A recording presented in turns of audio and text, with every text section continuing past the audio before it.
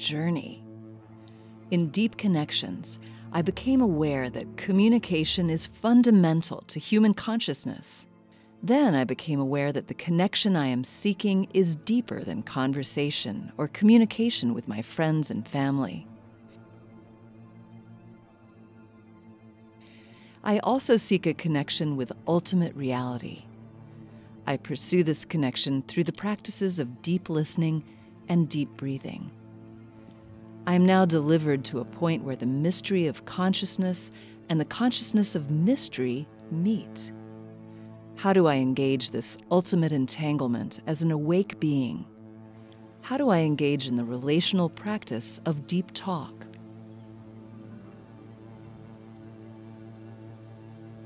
Well, you seem to have raised the right question, and I have an answer. I borrowed it from Madison Avenue. Just do it.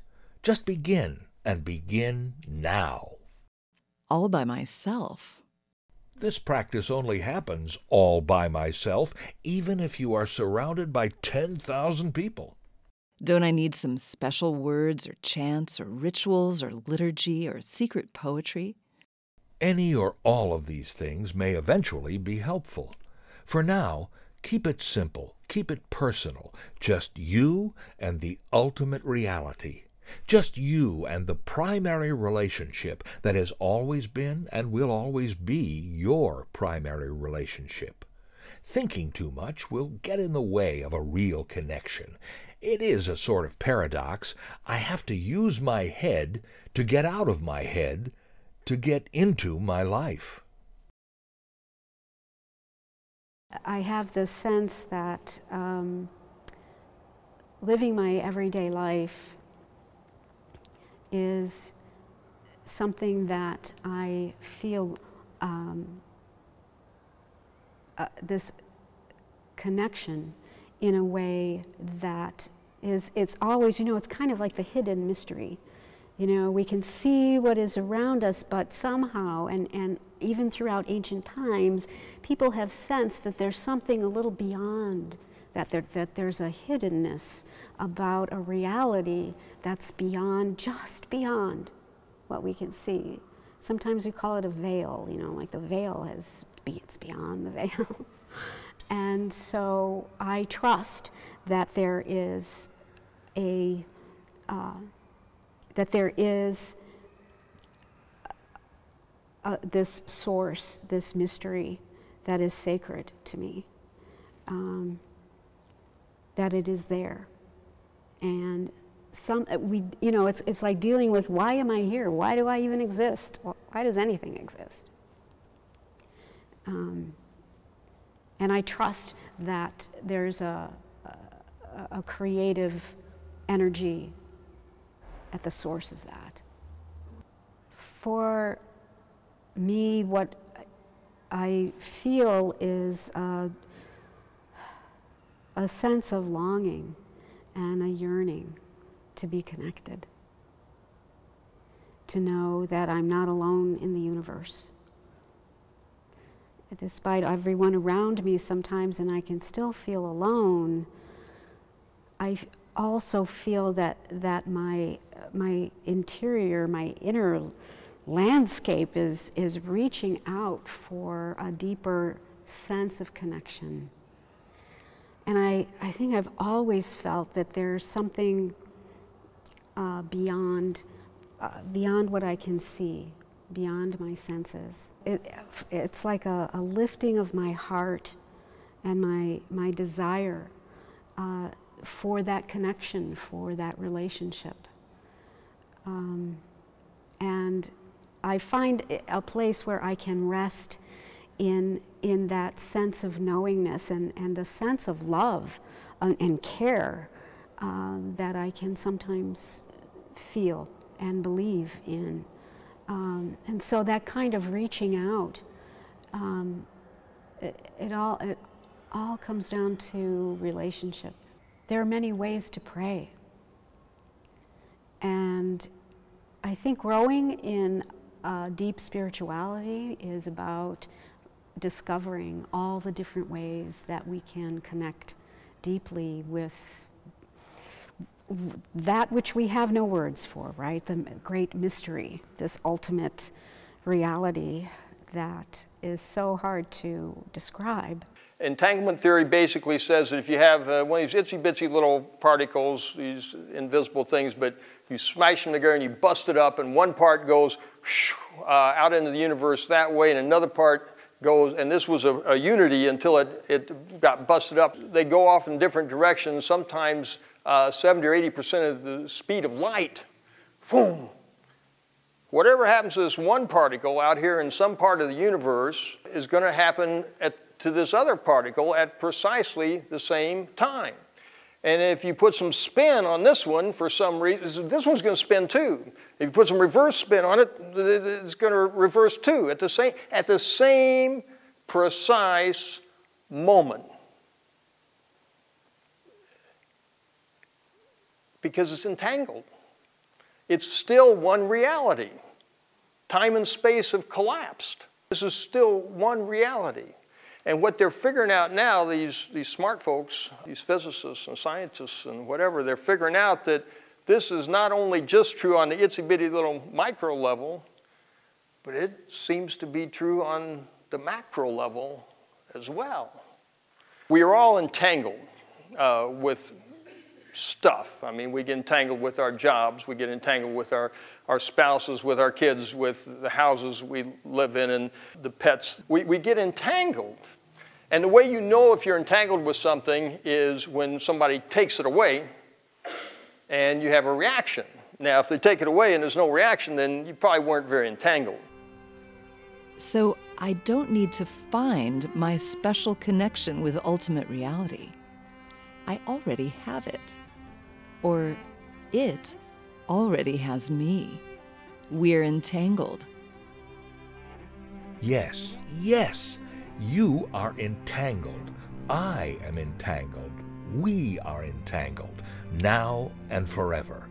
The only question is do I choose to become conscious of the ultimate entanglement that I am? And do I choose to practice and nurture this truth always at the very core of my existence? I believe that the ultimate role of the spiritual life and the interior life is to move us beyond the ritualistic. I think I, I was in a, in a plane that was uh, on the way to Japan and uh, some years ago and was looking as if we were going to have to make a crash landing because they couldn't get the, the wheels down. And so you can imagine the, I'm, I'm glad to have had the experience, but I'll tell you it is an experience because you know that, that this could be the end. And uh, some people afterwards, as, as if this would come up in a conversation as it is now, would say something like this What, what happened to you? Did, did you see your whole life? Did you, um, what, what prayers did you pray? And I said, What? What prayers did you say? I said, I, I didn't say a prayer, I became a prayer. That's the best language I have for it. These, the, the, the practices and the beautiful, beautiful um, pieces of, of liturgy or ritual or the mantra, they're all wonderful. They are marvelous. I wouldn't discount any of them, but their, own, their purpose is very limited. You should outgrow them, and you will outgrow them. The, the purpose is to bring you back to consciousness when this when it sucks you in, when when Disneyland swishes you out of your spiritual self, then if you make a, if if you make the kind of promise every time I drive around town a lot, so every time I go by a, a stop sign, I'll say the Jesus prayer, by Jesus mercy. Good. But someday, if you if it really uh, permeates your internal life like water in a garden. Uh, the flowers will come and go from season to season, but you will never ever assume that getting that flower is the only thing you will appreciate in that garden. See, you grow beyond These are, these are all crutches, they're aids, they're what we should have, and religion should supply them. And if you uh, don't have a religion, then make it up. Find a wisdom figure, uh, grapple with the word, uh, learn to paint to, to find your own interior. Do anything that works. But remember that the sign that it works will be that someday you will no longer need it. I didn't say a single prayer, I became a prayer. I was ready. I was I was very calm. I just sat there and said, "Well, it perhaps it has all been for this moment." Ah. I sort of get where Sister Joan is going with all of this, but I am not quite there yet. I think I need to use some of these crutches she mentions in order to give some order to my interior world. Let me suggest some entanglement beads. Okay, what is an entanglement bead? An entanglement bead is simply a crutch, an aid that can help us connect with the deep. These practices or methods may use words, even special words in liturgy, or rituals, or icons and images, or music, songs, chants, or art or incense and smells, or other tools or techniques that can assist in moving us beyond the personality self or ego self. These aids can be transparent to the deep. They can allow us to see through a finite reality into the infinite. They can nurture our consciousness of the presence of the infinite and ultimate reality already here in the midst of our personal, finite lives right now. Do they work? They work as well as practice works to accomplish anything of value. Okay, so where do we start? Let's consider seven entanglement beads human beings have been using to order consciousness since our ancestors first crawled out of a cave.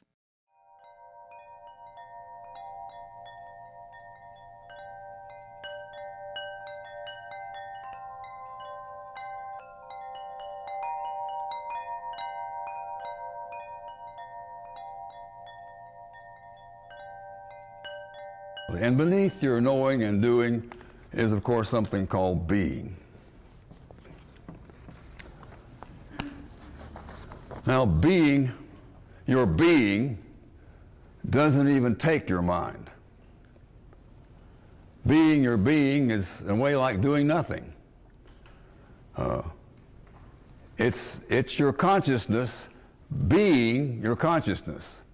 It's your consciousness surrendering to being the consciousness that you are.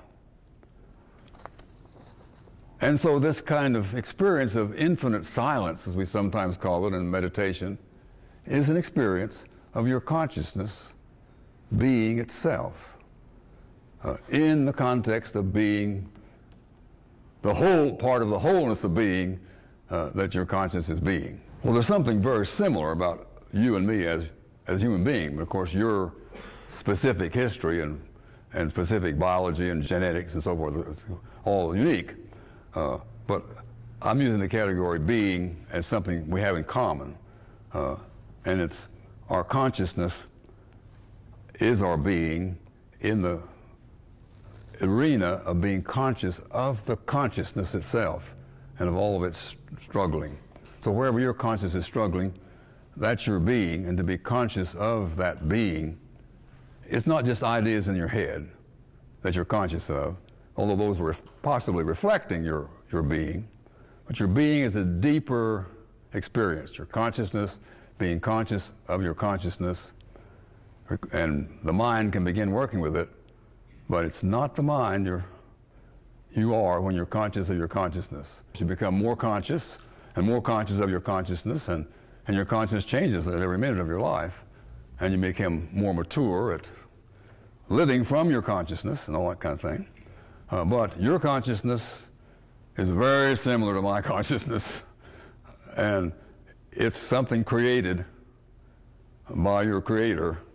It's not something you invented. Uh, being a conscious being is one of the miracles of your existence uh, to which you had nothing whatsoever to do, and you're a member of a species that is conscious in the way that you can be conscious, uh, very different from other species.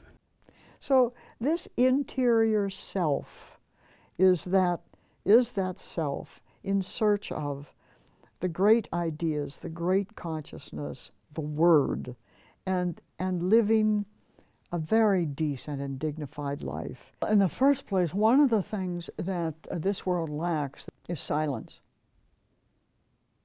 Uh, uh, a monastery like this is built around silence. It's not a rigid silence, it's not a, a condemning silence, it's not an unkind silence, it's a reflective silence.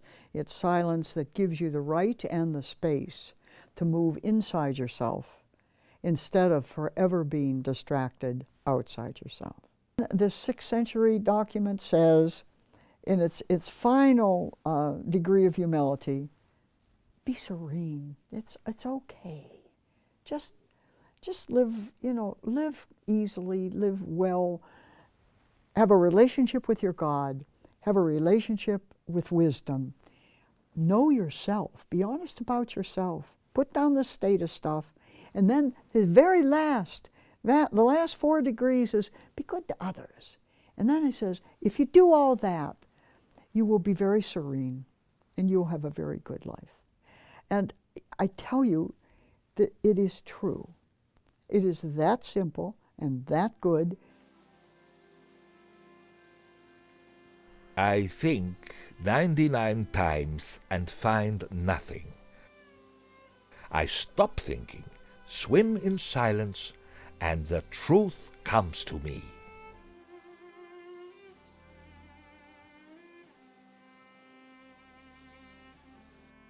Stillness and tranquility set things in order in the universe.